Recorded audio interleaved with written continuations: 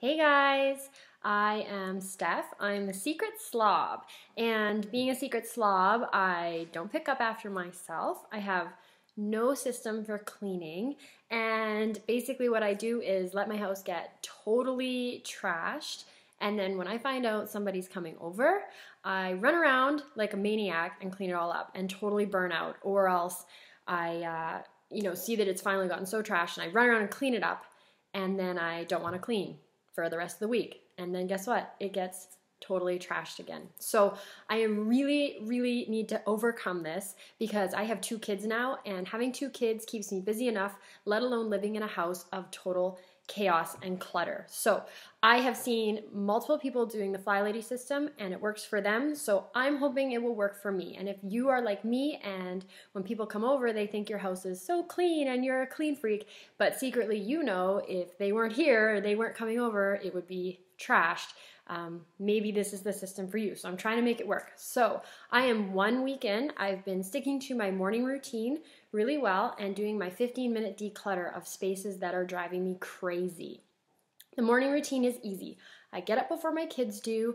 I do my swish and swipe, my bed, my laundry gets started, my dishes, and everything's going great, and the house looks good, and I'm feeling good. And then my kids get up, and this is the wrench for me. My kids get up, and then I'm making breakfast, and I'm playing with them, and the toys are everywhere, and it takes like five minutes for everything to just go nuts. And all of a sudden, there are things everywhere. So I can't keep up. So I think I'm gonna add something into my morning routine, and that is a five minute pickup.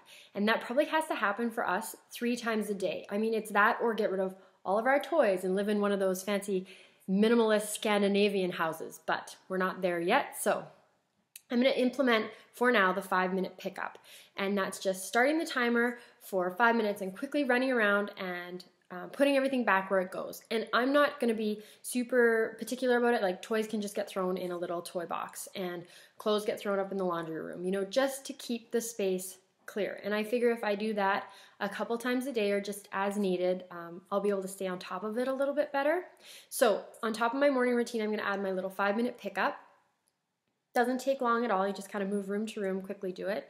And I'm also going to start getting into my afternoon routine. And that's the hard part for me because I feel like I play with my kids all morning and we do stuff and they go for their nap and then I'm like, "Great, time to go on my phone." And and then I just get into Facebook and and don't really keep going. So, my new rule for myself is uh, morning routine keeps going. I'm to do my five minute pickup and my afternoon routine. And I cannot go on my phone or get lost in the uh, realms and nether regions of Instagram before my afternoon routine is done. So that's my rule I'm making for me. Whatever it is that's stopping you from doing your routines, doing your afternoon routines, rebooting your laundry, whatever it is, um, make a rule for yourself. So it's like a little prize. And I'm probably sure that once I finish my afternoon routine, I won't feel the need to procrastinate. Maybe I'll do something productive.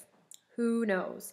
Um, so that's what I'm going to do. I'm going to start with my afternoon routine and uh, get it done now. So you can see, even though my house was clean this morning after my morning routine, it is messy because I guess I get into a state of panic with my kids and I'm like, everybody needs to be fed and then everybody needs their diaper changed and everybody needs to go to bed. But I know this is pretty common for a lot of stay at home moms. It's hard to keep up, especially when there's more than one kid. So we're just gonna not worry about it, do the five minute pickup. Five minutes is all it takes. Whip through the house, do uh, do just a good enough job so that things are away so that you can keep your day going.